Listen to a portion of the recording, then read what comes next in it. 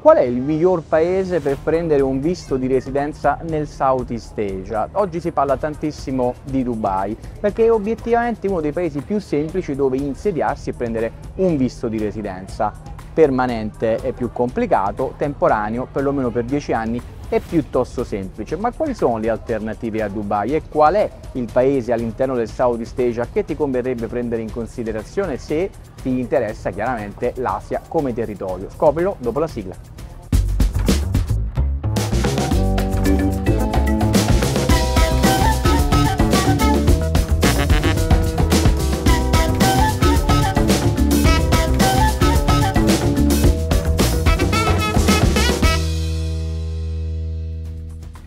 Ciao, sono Luca Tagliaratella, da oltre 20 anni mi occupo di pianificazione fiscale, protezione patrimoniale e relocation plan per imprenditori e nomadi digitali e non. Oggi nella splendida cornice di Hong Kong, siamo nella parte continentale, lì vediamo l'isola di Hong Kong, andiamo a parlare di visti di residenza perché molti di voi mi chiedono quanto è facile o non è facile prendere un visto di residenza a Hong Kong come persona fisica. Ebbene, è obiettivamente complicato, però io credo che è giusto conoscere il proprio nemico. Quindi se il vostro obiettivo, se il tuo obiettivo è quello di trovare una residenza stabile o temporanea all'interno del Southeast Asia, dobbiamo andare a ragionare su tutte le possibilità, le opportunità sul piatto, perché molto spesso si parte da Dubai e si fa molto molto bene, direi, perché è il più semplice oggi da ottenere, fondamentalmente basta pagare sotto 6 um, e chiaramente viverci davvero, attenzione. Mentre più elastico e anche più economico il resto del Southeast Asia. Abbiamo già parlato in video precedenti, quando mi trovavo a Singapore e quando mi trovavo in, in Malesia, dei visti di residenza che sono piuttosto complicati da ottenere, sia per quanto riguarda Singapore sia per quanto riguarda la Malesia. Più che altro sono molto expensive, sono piuttosto cari e quindi secondo me è giusto da gettare l'occhio su altre tre giurisdizioni, ok? Partiamo da quella che obiettivamente è, non voglio dire che è impossibile, ma quasi, che è esattamente quella di Hong Kong. Esistono tutta una serie di visti, anche qui, come in tutti gli altri paesi del sud-est asiatico, diciamo sono delle employment visa, nel senso che se si è sponsorizzati da una company locale e allora tutto diventa più semplice, burocraticamente articolato ma piuttosto semplice, soprattutto se si lavora nel mondo della finanza dove qui chiaramente fa da padrone in tutto il Southeast Asia, qui e a Singapore. Eh, diverso ed è più complicato ottenere un investor o entrepreneurship visa che Hong Kong mette a disposizione solo di chi chiaramente investe un certo eh, ammontare di capitale all'interno della giurisdizione, quindi è un po' come negli Stati Uniti quando vado a chiedere un E2, no? cioè un visto di residenza negli Stati Uniti, devo fare un investimento, cioè devo creare una società, dare impiego a dei dipendenti, pagare le tasse sul loro salario, sviluppare un business sostenibile, ragionevolmente produttivo e allora posso andare a fare l'application. Quindi per chi è interessato unicamente a uh, una flessibilità personale elevata e a utilizzare Hong Kong invece come territorio offshore per la sua tassazione territoriale, evidentemente non andrei a guardare a Hong Kong per un visto di residenza, ma andrei a guardare a due grandi alternative, ce n'è anche una terza, ma te la dico soltanto se clicchi like e ehm, rimani aggiornato alle notifiche del canale, perché saranno video, video girati in altri territori, non oggi. E allora io andrei a considerare o la Thailandia oppure l'Indonesia. Vediamo l'Indonesia che cosa prevede.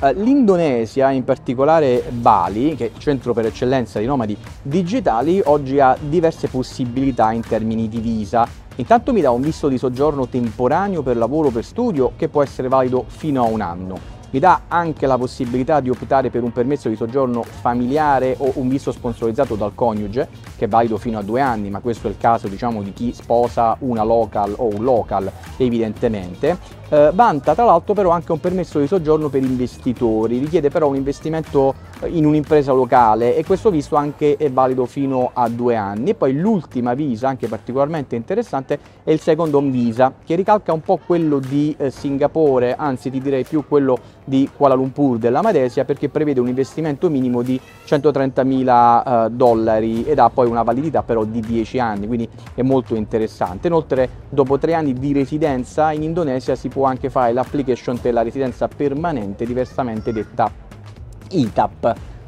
L'altro paese molto interessante a cui io darei un occhio è quello della Thailandia. È vero che molti fino ad oggi cercano di utilizzare la Thailandia entrando con degli student visa o con dei uh, visa legati diciamo alle arti marziali, alle scuole di arti marziali o alle scuole, o alle scuole di lingua che sono dei visa chiaramente permanenti che rispetto alla turistica che ti danno 90 giorni ti danno fino a 12 mesi di permanenza. È altrettanto vero che però la Thailandia oggi offre un'opportunità a tutti coloro che magari vogliono eleggere Dubai come centro dei loro interessi ma non hanno voglia, tempo o facoltà di risiedere 12 mesi e quindi se non si guarda all'Indonesia che è più semplice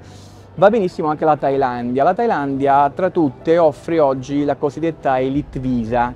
il nome ufficiale della Elite Visa in realtà è Thailand Privilege Card che, proviene, che prevede quattro opzioni tutte interessanti e diciamo ehm, a seconda del vostro portafogli potete comprare un Visa che va dai 5 ai 20 anni di permanenza. Se sono quattro pacchetti, esiste il Gold che ti dà 5 anni e costa intorno ai 25, l'equivalente di 25.000 US dollar, esiste il Platinum che ti dà la possibilità di permanere fino a 10 anni e eh, costa all'incirca l'equivalente di 42.000 US dollar, esiste il Platinum che ti dà la possibilità di permanere 15 anni con un investimento di circa 70.000 dollari.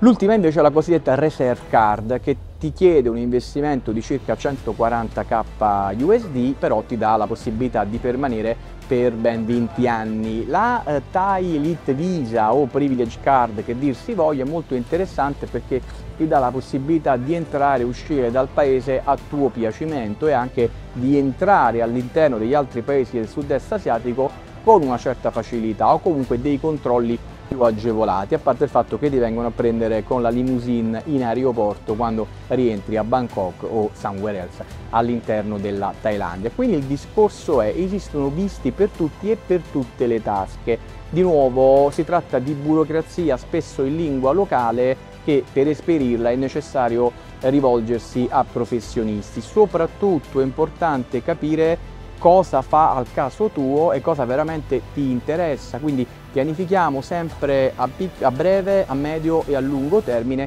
prima di fare una scelta. Sono Luca Tagliatela, da oltre 20 anni mi occupo di relocation plan e di visti di residenza. Se sei interessato a penetrare il mercato del sud-est asiatico o a diventare un nomade digitale, sei alla ricerca della visa migliore per te o per la tua famiglia, allora clicca il link in descrizione e prenota una consulenza con il sottoscritto con un membro esperto del mio team. Spero che questo video ti sia piaciuto, noi ci rivediamo nel prossimo.